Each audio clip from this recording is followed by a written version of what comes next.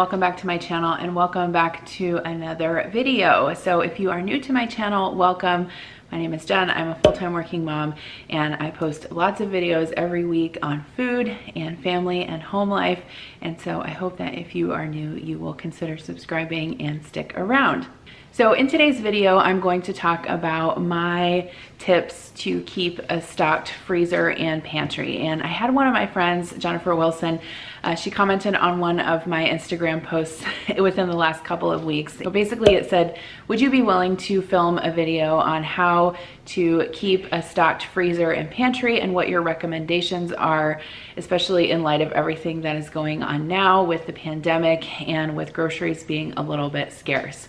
And so I reached out on Instagram and asked you guys for questions and I have a lot here to address, so let's get started. So the first thing is, is I think it would be helpful for me to kind of explain my stance on keeping a stocked freezer and pantry before we get into my tips on this.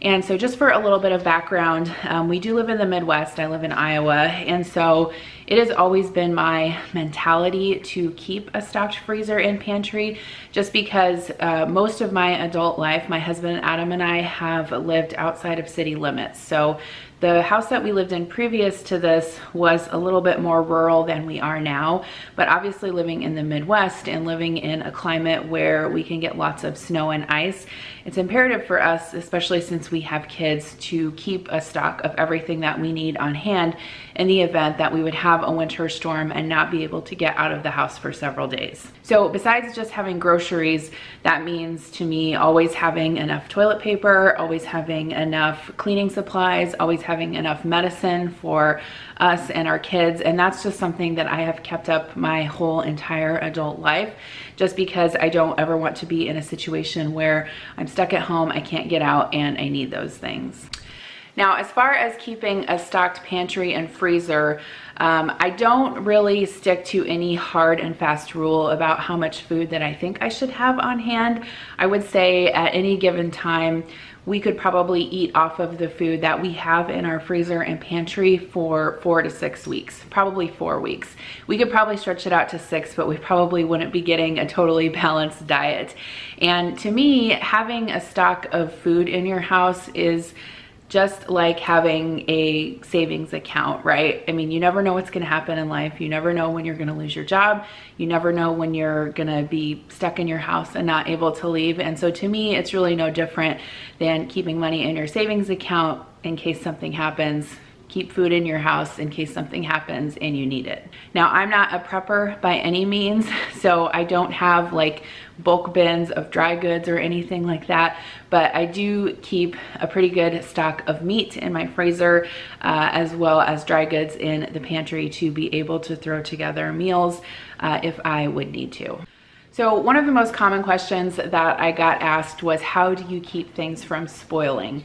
And you have to remember, I think, that especially if you are working on stocking up your pantry or your freezer, is those are all foods that aren't going to imminently expire. Um, as far as a deep freeze, you know, when you put things in a deep freeze, you're gonna be able to keep those things for months on end, same as in the pantry. And so um, Personally, for me, I don't worry about things spoiling because I'm going to have the chance to cook and go through them before they go bad. It's not like fresh produce in your refrigerator where you have to use it within, you know, three or four days or it's gonna go bad. There is a really good website and it's called eatbydate.com. I'll link it down below. This website gives a lot of helpful tips on how long things last, how long flour lasts, how long sugar lasts different things like that. And a lot of times products will have dates on them and you can read a lot online about use by dates, sell by dates, expiration dates and what they all mean. Typically I get through the food before it expires. Very rarely when I clean out my pantry do I have to throw anything out. Every once in a while I'll have a couple of canned items that are past their date but what I would say as far as expiration dates or even things that don't have an expiration date like flour that you might take out of the container, you know, flour is gonna last probably about six to eight months in your pantry.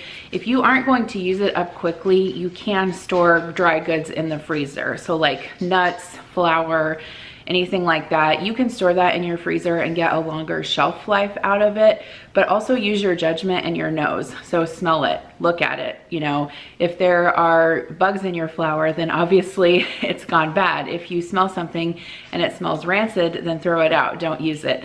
I think that a lot of us, you know, get kind of fixed on those dates and on hard and fast rules about when we should and shouldn't consume things. And I just find that using my own judgment and rotating items is the best way to get everything used before it uh, goes bad.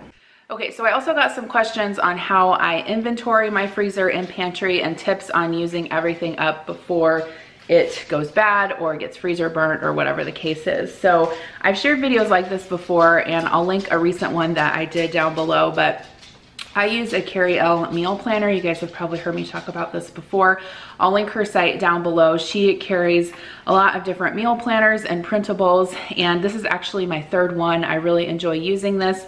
I use it for my weekly meal plan as well as my grocery list every week, and it does have a section in back here for notes and inventory, and so what I like to do is I like to inventory my freezer and pantry probably about once a quarter. So I would say every three to four months, I really go through, I take stock of everything that I have in my freezer, everything that I have have in my pantry. And what you can do is you can make a list of everything that you have. So, you know, ground beef, four pounds, chicken breast, five pounds, flour, you know, 10 pounds. Personally, I don't find that to be all that helpful for the way that I cook and plan meals. And so what I do is I just write down dinner ideas based off of what I find in my freezer and pantry when I inventory it. For example, if I find some chicken breast in uh, the freezer, I might write down lemon chicken, grilled chicken, things that I can make with the chicken um, that is what helps me sort of use up what I have in my pantry and freezer and keep it rotated so that I use it all up. So for example, on this list that I last made, when I inventoried my pantry, I found that I had four cans of pumpkin. And so rather than just writing canned pumpkin, I wrote down pumpkin waffles, um, chocolate chip pumpkin muffins. So things that I actually make with that ingredient rather than just inventorying the ingredient itself. That way when I'm planning my meals every week, I can just reference back to this page and plan meals and snacks based off of that. Okay, so I also got some questions on rotating uh, stock and rotating cans and do I have a system for doing that? And the answer to that is no. I typically don't keep more than six can, maybe six to eight cans of anything. And so I don't have such a big stock that I really need to rotate things. I try when I put items away in the pantry to bring the items that have the soonest expiration date towards the front and then put the rest in back. So I guess that could technically be classified as a rotating can system.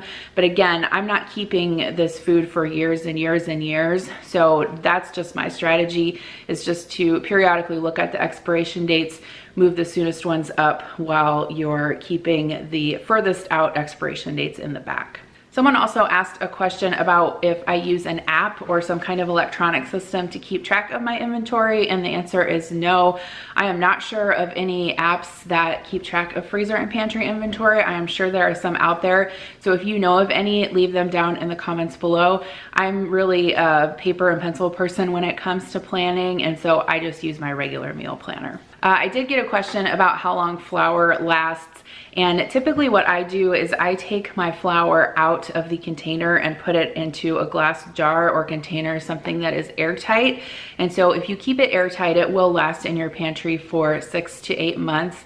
Again, that site that I mentioned before, the eatbydate.com, if you guys have any questions about how long things last, go ahead and look on that site. They have a ton of information on how long food lasts, especially if you have a question about how long it lasts after you open it. The next question is how much food should a stocked pantry or freezer have? And so I think that that's really a personal decision. Personally, I feel comfortable having about a month's worth of food and supplies in my house, but that's a question that I think you have to answer for yourself and your family. Obviously, if you have a larger family, you're going to have more things stocked up. We only have two kids and a dog, and so that's what we plan for is two kids and a dog. And we, at any given time, have about four weeks of food and supplies on hand even before all of this, uh, you know, pandemic started going on. And so I think that's a personal question that you have to decide for your family and then just stick to that. And especially if you're shopping on a limited budget, you can try to build this stuff up over time, especially when you see sales. If you see sales on canned goods or flour or meat, you know, buy those at that time and build your stock up gradually. It's not something that you have to go out all in one shopping trip and get. One thing I want to stress, and I kind of talked about this in the same way as having, you know, a savings account or something like that, is it's just one less thing to stress about.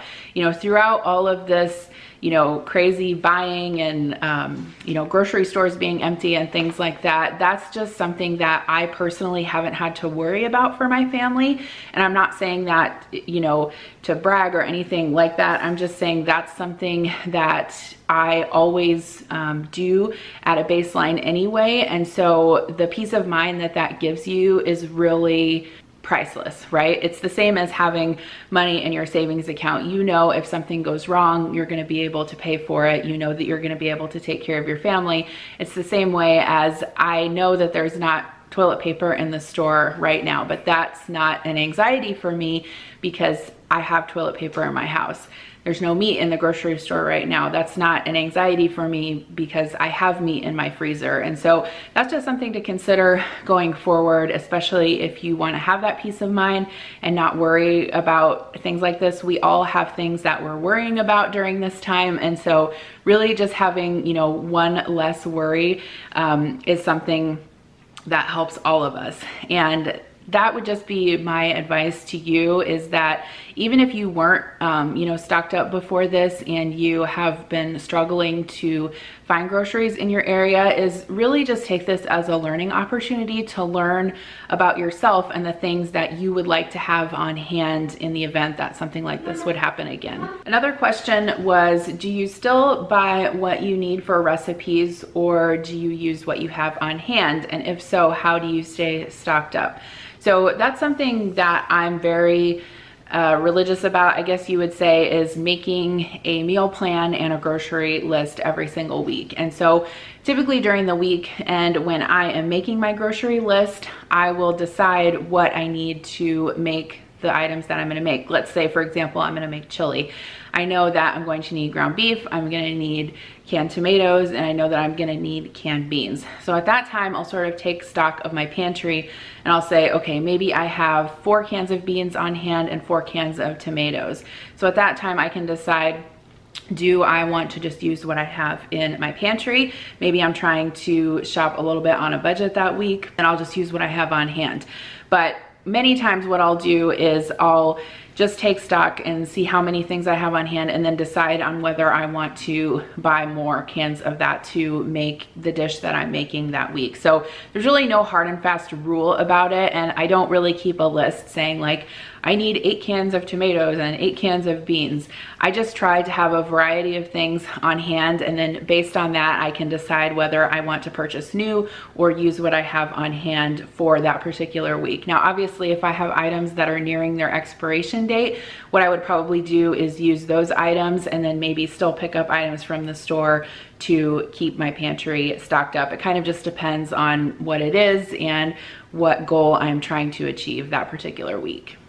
So I got a lot of questions about storage and I will say that I am very lucky to be able to have a huge walk-in pantry and I also have an extra refrigerator in our garage, mostly that we use for a beer fridge, you know, beer and beverages out there. And then we also have a very small deep freeze in our garage, but it hasn't always been this way. Um, when Adam and I had our first house, we bought our first house in 2006, we did not have um, a deep freeze for most of the time that we lived in that house. We just had a regular, um, you know, refrigerator with an on-top freezer. Uh, when we moved, we were able to have a deep freeze in our basement, but we did not have an extra refrigerator. And now that we moved to this house, we have more space and we are able to have two refrigerators and a deep freeze. So I guess what I'm saying is that I haven't always had all of this space and really if you don't have a lot of space, let's say you live in an apartment, you just have a refrigerator and freezer, you don't have a deep freeze, you don't have a huge pantry, you just have to get really creative about it. In our previous house, I actually had a small pantry. I probably had a pantry maybe a sixth of the size that mine is now. And I just had to get really creative about what I stored other places. So we had a laundry room downstairs that had cupboards and that's where I kept all of my extra supplies. So I would keep down there things like boxed pasta, canned soup, canned tomatoes, canned vegetables, canned fruit, and I would also keep all of my extra paper supplies down there. And so basically what I did was just kind of build my own little backstock in a separate area of the house. That doesn't necessarily have to be in your kitchen or your pantry. Think creatively about it. Maybe you have a coat closet where you could clear some room up on the shelf and you could get a, you know, a tote or a crate from Target or Walmart and store your dry goods in there. Just be careful that if you're storing food in other areas of the house that it's something that's sealed properly. Um, obviously you don't want to have like a pest problem or anything like that, but as long as you're having dry goods that are properly sealed, you shouldn't have an issue storing those in other areas of the house. The other thing I would say is really pay attention to how you're storing and freezing items in order to maximize space. So one tip I have is to freeze things flat. So whether that's meat or soup or sauce or anything that you're freezing, put it in a Ziploc bag and make it flat before you put it in the freezer. That way it will freeze flat and that will maximize space. So especially if you have like a refrigerator freezer that has uh, limited space in your freezer, things that are flat can be stacked on top of each other much more easily than if you had a bunch of rolls of ground beef or a bunch of, you know, packages of chicken that were bulky. It's just a way to maximize space and be able to stack things on top of one another uh, to be able to get the most that you can into your freezer. The other thing I would say is make sure you label everything. I think we have all been there when we put something in the freezer and we think to ourselves, oh, I'll remember what that is. And you know, two months later, you're kind of digging through doing an inventory and you're like, what's that? When did I put that in there? So don't lie to yourself, get a Sharpie. I actually keep a Sharpie right in my drawer with my Ziploc bags. That way it's super easy. If I'm putting something in a bag, I can just quick label it. I don't do anything fancy. I just label what the item is and the date that it was frozen. So another common question I got was about freezing bread. And as you guys are well aware, there are some areas of the country who have a lot of difficulty finding bread right now. Um, I typically keep uh, at least one loaf frozen in my deep freeze just because I like to have a backup. My kids really like peanut butter and jelly. They like sandwiches for lunch. Um, I always like to have bread on hand, especially for toast during the weekends when I cook breakfast. So a lot of questions about freezing bread. This is how I freeze bread. I freeze it exactly in the loaf like it comes in just in the bag. Make sure that it doesn't get smashed or anything obviously. And then a lot of questions about thawing it. So typically what I do is I'll set this out on the counter about four to six hours before I know I wanna use it. Overnight is best. I don't do anything. I just take it out frozen, I set it on the counter and in about four to six hours it will be completely thawed. One person asked how do I keep it from getting tough around the edges? I really haven't found that my bread is tough around the edges when I thaw it out. Um, again, that wouldn't be necessarily an issue of something going bad. It might be a quality issue, but if it's, you know, a choice between bread that's tough around the edges and no bread, then you might choose the bread that's tough around the edges. One thing I would say is keep your freezer set at the coldest setting that you can uh, because freezing things at super duper cold temperatures typically means that it will retain quality better than something that's frozen at a warmer temperature. Now, if you have a loaf of frozen bread and you want to thaw it out quickly to make a sandwich, what I have done before is just take the loaf, um, take two slices, let's say you need two slices for a sandwich, wrap them up in a paper towel frozen, and then nuke them in the microwave for very small increments. So maybe start with like five or 10 seconds and then continuously check it and be flipping the bread over because you don't wanna warm up the bread. That's gonna make it tough. You just kind of wanna nuke it enough to get the ice and the chill out of it. So that's what I would say. Wrap it in a paper towel, throw it in the microwave, microwave it at five to 10 second increments, you know, continuously flipping it over every time until it is thawed to your liking. Okay, I also got a question on if I don't have an item, what would I use as a substitute? And so I tried to think of some things that I routinely use as substitutes. Um, and I'm sure I'll forget some of them, but if you guys have specific questions, please leave them in the comments below and I will answer those.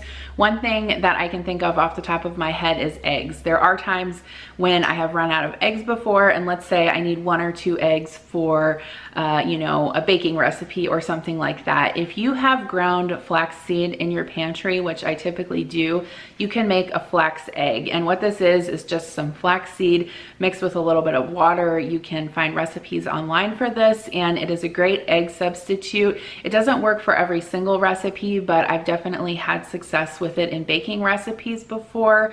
Um, it is sort of a plant-based hack so if you are, um, you know, vegan or plant-based, you probably already know about that, but that's just an option of something that you can keep in your pantry, flaxseed. Um, I typically keep it in there just exactly for recipes that call for flax eggs, or it's something that you can also put in your smoothies for a little bit of added fiber. And you can find flaxseed at Aldi. It's not very expensive at all. The other thing that you can try with eggs and that I've had success for in baking success in for baking recipes is use mayonnaise. So mayonnaise is just eggs and oil. And so it kind of sounds weird, but I've had recipes before for like uh, brownies where I haven't had an egg on hand and instead I've used about a quarter cup of mayo to substitute for a few eggs and it works just fine. Uh, you know, the internet is your friend. Definitely if you want to cook a recipe and you don't have things on hand and you want to find things, just Google it. You will find tons of baking substitutions out there. There is a website that I'm thinking of in particular that gives a lot of good baking substitutions. I can't remember it off the top of my head, but I'll link it down below. Um, definitely a site that tells you, you know, if you don't have self-rising flour or you don't have cake flour or you don't have bread flour, what can you substitute for that? So definitely be creative, research. Um, just because you don't have a specific item on hand, it doesn't always mean that you can't make your recipe.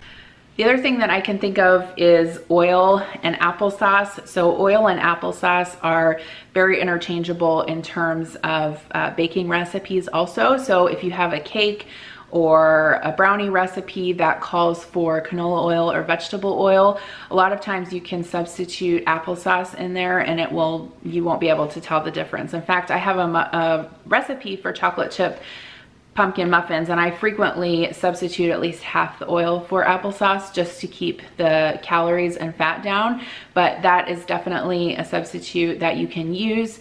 I always usually have at least one jar of applesauce in my pantry just because my kids like it and it's a fruit that obviously is shelf stable. Um, and so that's another thing that you can consider when you're baking and you need oil and you don't have it. Another thing that I use a lot in terms of substitutions is sometimes you'll have recipes that call for Greek yogurt or sour cream or buttermilk. So if I have a recipe that calls for buttermilk, like a baking recipe, and I don't have it, I will usually have sour cream. And so like, let's say I have a recipe that calls for one cup of buttermilk. What I'll do is I'll take a cup of milk and I'll stir in a couple tablespoons of sour cream or a tablespoon of vinegar and then you can make your own buttermilk. Same with Greek yogurt. If you have a recipe that calls for Greek yogurt, you can usually use sour cream and I typically always have sour cream on hand. Same with sour cream. If you have a recipe that calls for that, use Greek yogurt. So just play around with it. You know, if, if you do end up ruining something, I mean, we've all been there. That's a lot of the questions I get is I think just like fear and trepidation of messing stuff up in the kitchen. And I just don't think that we should feel like that. I mean, obviously none of us want to purposefully waste food, um, you know, but I've been cooking independently as an adult for many years, probably almost two decades now. And I can tell you that I've ruined lots of things. And you know what? It's a learning experience think of our kids and they're learning to ride a bike. We know that they're gonna fall off the bike, but we don't say, oh, don't try, you know, don't get on the bike and you fell off your skateboard, you know, don't don't say, well, you're gonna fall off, so you might as well not even try. I mean, same thing in the kitchen, right? You're gonna cook things that aren't that great. You're probably gonna burn things. You're gonna cook things that you have to throw away. But that's all part of the process. And if we didn't have those fails, then we wouldn't learn and get to where we are today. So don't be afraid. Um, you know, use your judgment, and if it doesn't turn out, then you know better for next time. One question I had is what are items that can be frozen that most people don't know about? And I actually found an article about this online that's really interesting. It's um, 25 things that you didn't know could be frozen. And so I'll link that down below. It's kind of an interesting read. There are some things that you can freeze that I don't routinely freeze just because that's my choice not to. Like I know that you can freeze whole eggs. I've seen before where people will crack them into a muffin tin freeze the raw eggs and then you have those on hand later. Personally, I think it's just as easy to keep um, you know, a couple dozen eggs out in my refrigerator in the garage. Eggs are something that you can keep, I mean, they, they don't go bad. If you have them in the refrigerator, I don't think I've ever had to throw eggs out because they've gone bad. They do stay well past the expiration date. So again, use your judgment on that. I know that a lot of people freeze milk. We are not huge milk drinkers around here. So that's not something that I've had to freeze in the past, but I know I've heard people say, you know, pour a cup out of the gallon of milk, and then stick it in the freezer and thaw it out and you can use it just as you would regular milk. You can also freeze cream cheese. It will not have the same consistency as it once did when you thaw it out, but it's fine to use like if you wanted to use it in a soup recipe um, or a recipe that's not, you know, primarily cream cheese based. I mean, the texture may be affected, but the taste will still be fine. Besides regular bread, you can freeze a lot of bread products. So rolls, for example, I frequently freeze hot dog buns and hamburger buns because we typically don't go through a whole package all at once. You can freeze corn tortillas, flour tortillas, um, and when I show you my freezer and what I have in there, I'll show you a couple of other things that I routinely freeze. Another thing to keep in mind is that you can freeze uh, liquid and sauces in glass jars. I do this frequently. The only thing to keep in mind is just leave some headspace at the top. So typically I would say probably leave an inch of headspace at the top because your frozen food or liquid is going to expand and you don't want the jar to crack. I've only actually had that happen one time, but I frequently freeze chicken, beef, um, turkey broth, marinara sauce in glass jars and I don't hardly ever have a problem. Another question that I got was, what do you cook when there are less than ideal items in your house? And there's actually a website for this that I've used before and I'll link it down below. Basically, you can type in any ingredients that you have. For example, if you have uh, chicken breast, cheddar cheese, sour cream, and spinach. You can type those ingredients in and it will actually generate a list of recipes based on those ingredients. And I've used this before and I think it's really fun. It's a really great idea to come up with new recipes when you wanna use what you have and you're not sure what to make. Another question that I got was, do I waste food or what are some tips to prevent food waste? Now, I would be lying if I said I never waste food. I think that we can all say that we waste food now and then, but for the most part, no, I don't waste a lot of food. Typically, I am using what I have in my refrigerator first, and I keep track you know, of what produce I have in the fridge along with meat and cheese and things like that. Those are all things that can for the most part be frozen. And so if I have extra, I just pay attention and before it goes south, I'll put it in the freezer. For example, right now I have a bag of spinach in my freezer because we only used part of it for salads and I knew it wasn't going to last the whole week. And so that's something that I routinely put in a bag. I throw it in the freezer and then we can use that later in a soup recipe. I can use it for spinach artichoke dip or I can also throw it in smoothies and it makes a great addition to that. Especially fruit, I do that a lot of times if I have extra berries or, you know, even oranges or cut up mango or kiwi or anything like that. Toss it in a bag, throw it in the freezer, and then use it in your smoothies. So I did also get a request to go over getting a half or a quarter beef. Um, so basically buying beef in bulk and how all that works. So I'm just gonna try to briefly explain to you how it works for us. Um, this is just a look at the beef that we get and how it's wrapped. It says not for sale because obviously this isn't something that they're, the meat locker is going to put in their shop and sell. It's for us. So essentially what happens is my husband works with someone who is a cattle farmer. And so every so often when he has a cow ready to go to the market, he'll check with Adam and some other people that he sells beef to and ask if we need any beef. Now you can see at this point we don't need any beef because I'm filming this video in March 2020 and we actually purchased this in January 2019. And we've been eating this beef all year. Like I said, it's been frozen in the deep freeze continuously. It's fine. The quality is still great. So what happens is we'll usually tell him whether we want a half or a quarter beef. Typically we get a quarter beef and that will last us anywhere from six to nine months. We did get a half this time, so we got quite a larger quantity. And as you can see, it's lasted us well over a year. You can choose what um, how you want your meat cut. And so typically um, once the farmer takes the cow to the meat locker, the meat locker will contact you and they'll give you what's called a cut sheet.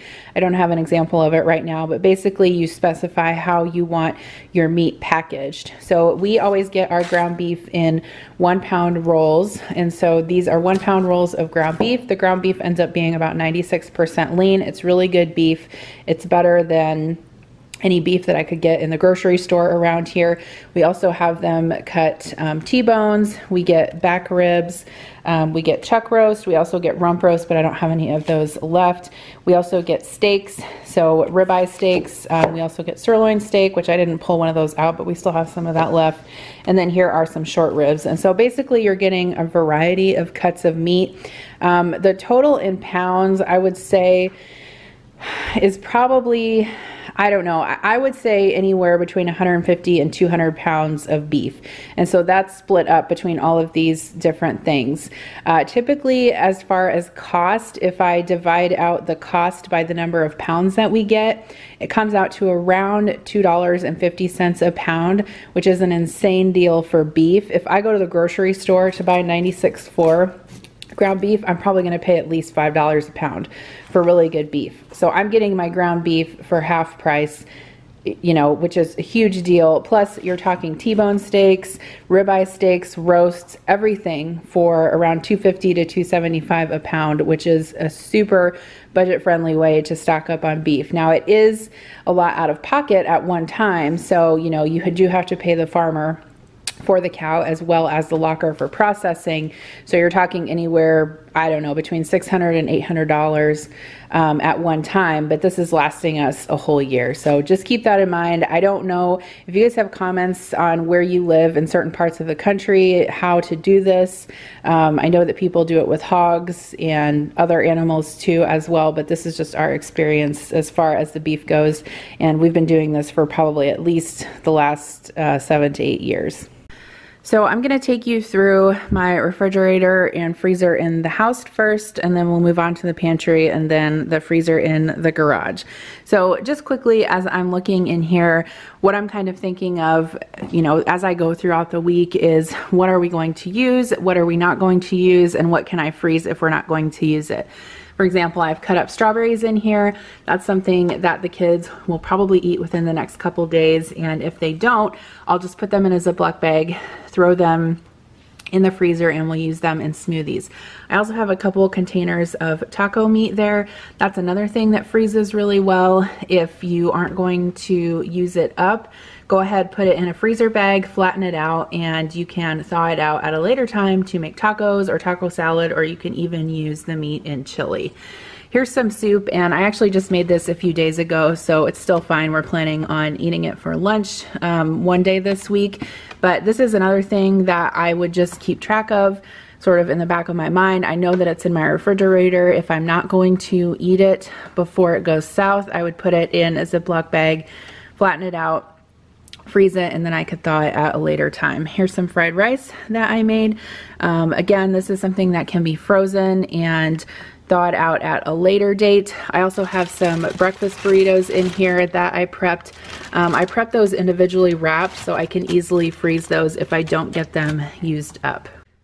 Cottage cheese is something that really doesn't freeze well, but I do kind of keep it in the back of my mind that if I don't end up getting it used, then what can I use it for before it goes bad? I can make a lasagna and freeze that, or I could mix it with some ricotta cheese and make manicotti or stuffed shells.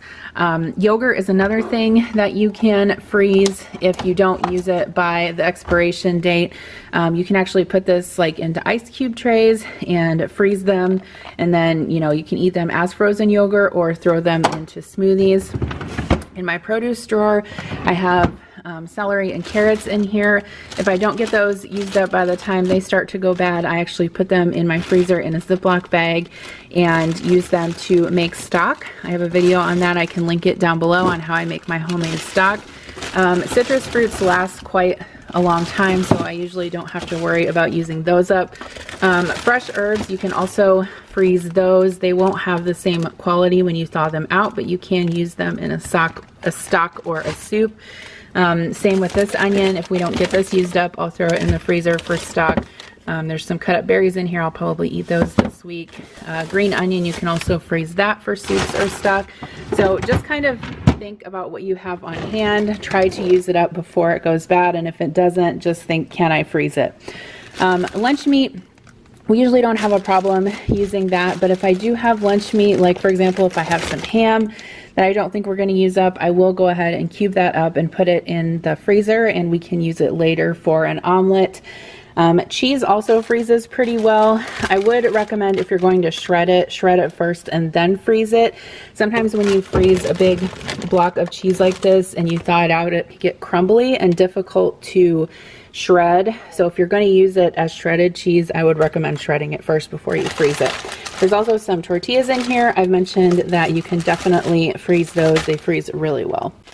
Again, with the fruit, I have some frozen pineapple and mango in here. This was fresh fruit that I had cut up, but we didn't get to eat it in time before it went south, so I did stick it in the freezer for smoothies. And then these are also the rest of the breakfast burritos that I froze. And again, I like to wrap these in parchment paper or wax paper individually so we can take them out and heat them up in the microwave easily.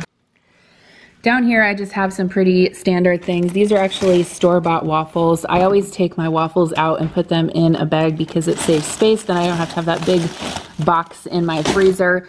Um, this is actually some rice that I froze. You can freeze cooked rice and then thaw it out. It makes really great fried rice if you um, want to do that for a quick dinner. And then you can also freeze broccoli and cauliflower just as is. Don't do anything to it. Just stick it in a freezer bag. And then what I like to do is make broccoli cheese soup in my Instant Pot using this. And I can link the recipe that I use down below. Um, again, we have some frozen blueberries down here for smoothies. And then this is actually pancakes. Um, I made extra pancakes this weekend and froze them. And that's something that Connor really likes um, to have for breakfast. I just put a few of them wrapped up in a paper towel, throw it in the microwave, and you have a quick breakfast. Okay, so if you're new to my channel, you probably haven't seen my pantry, but we do have a walk-in pantry, and it's right off um, the kitchen right here. I we designed this house and so I was able to kind of design it with what I want and so I do have a rather large walk-in pantry but definitely use some of those space saving tips that I talked about earlier especially if you don't have a big pantry like this. No worries you just have to get creative about how you're going to store things. So typically I like to keep extra condiments on hand. This is random macaroni and cheese up here um, but anything that we use on a regular basis I try to keep at least one back stuff back stock of in the pantry.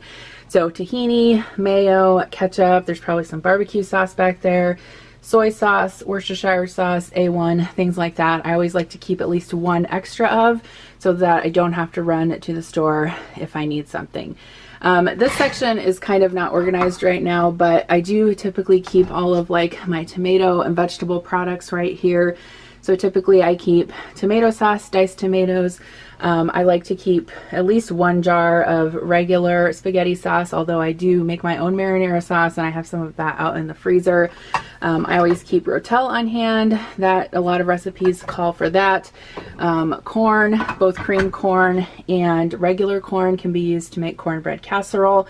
I like to keep garbanzo beans on hand to make hummus, regular beans for chili. Um, I keep black beans, kidney beans, and white beans usually.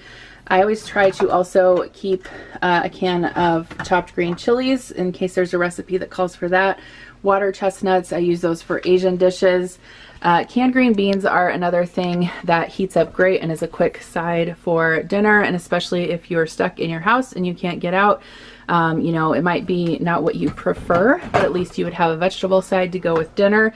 I typically keep um, well, I had this cherry pie filling for a recipe, but I typically keep uh, black olives and uh, at least one or two cans of those on hand along with refried beans and enchilada sauce.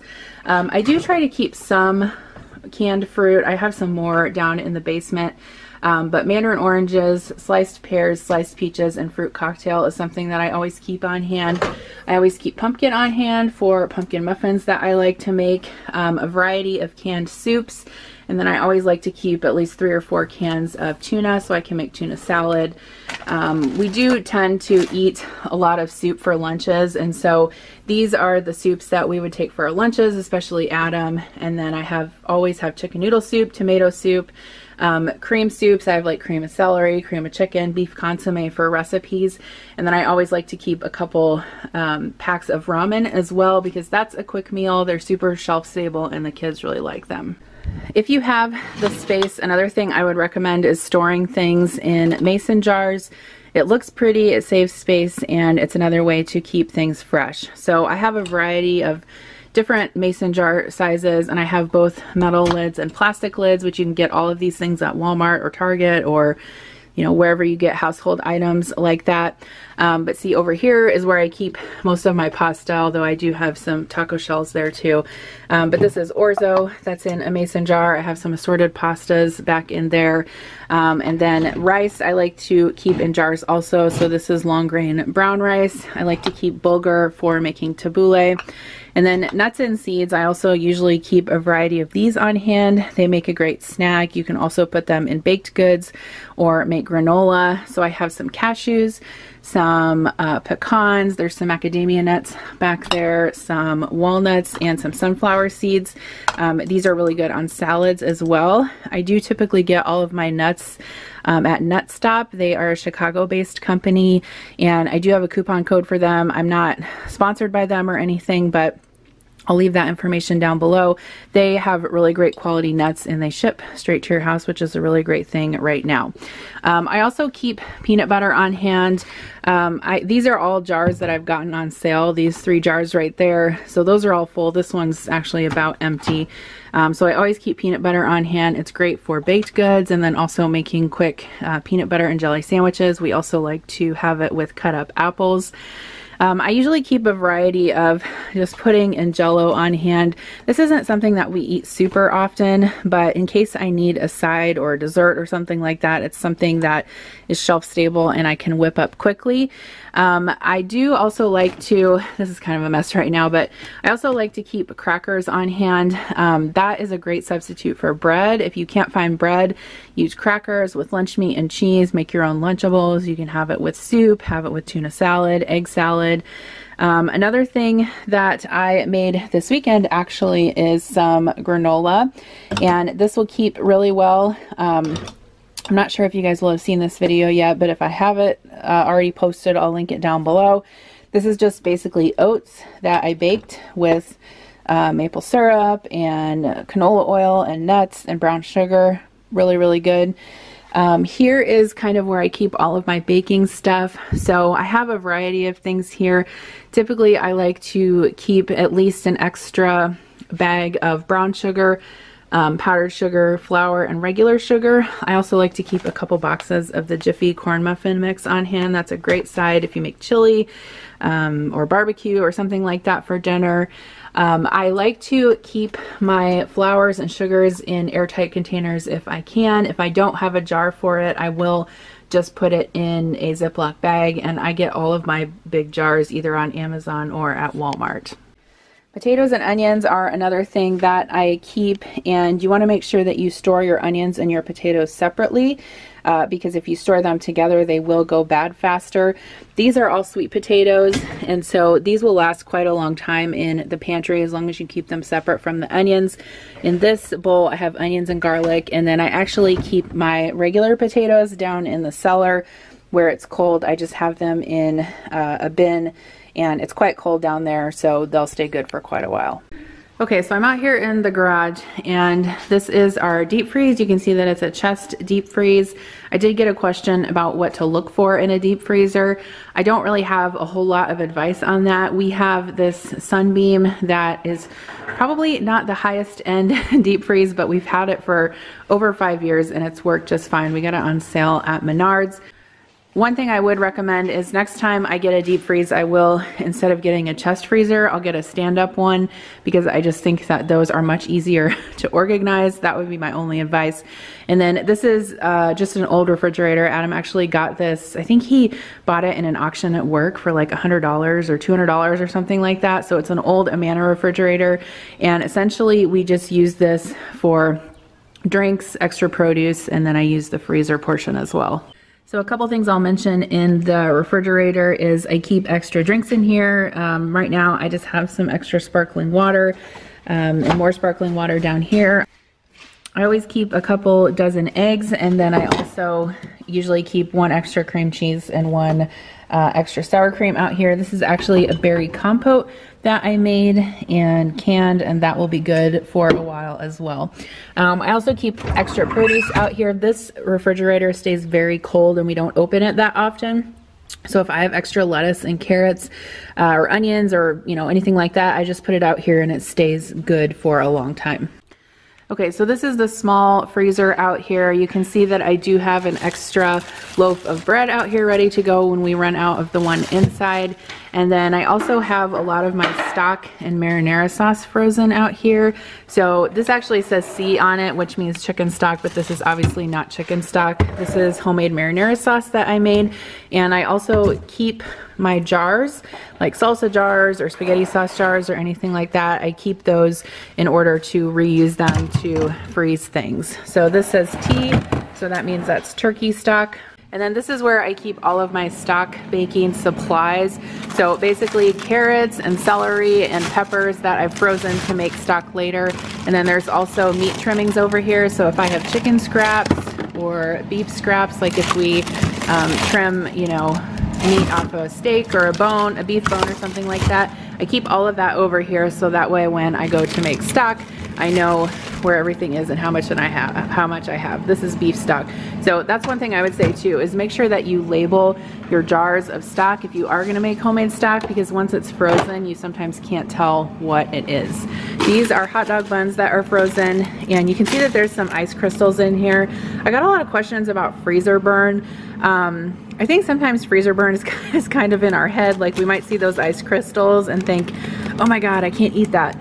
Um, but if you came over to my house and I thawed these out and toasted these buns up and served you a hot dog, you probably wouldn't even know that it came out of the freezer. So don't be afraid to use things. If they taste a little bit different, you know, it's not that it's bad, it's just that you're using something that's been frozen, so it's not gonna be the same as if it was fresh. But most of the time, um, it doesn't bother us.